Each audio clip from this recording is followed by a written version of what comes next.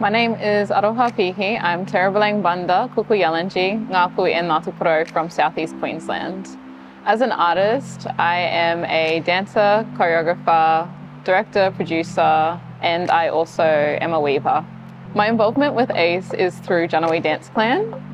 The collaboration between Jannawi and ACE is important for empowering emerging artists and First Nations artists through their many programs and even just space in general. Space is very hard to find, especially in the arts. Jannawi Dance Clan is not a full-time company and the funding that we have got has given a bit of relief to those who don't work full-time.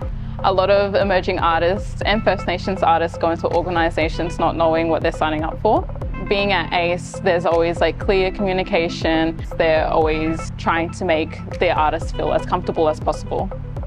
I would definitely recommend any First Nations artist or any artist that has a cultural background to come to ACE just because of the community that it brings and the way that they make you feel so welcomed.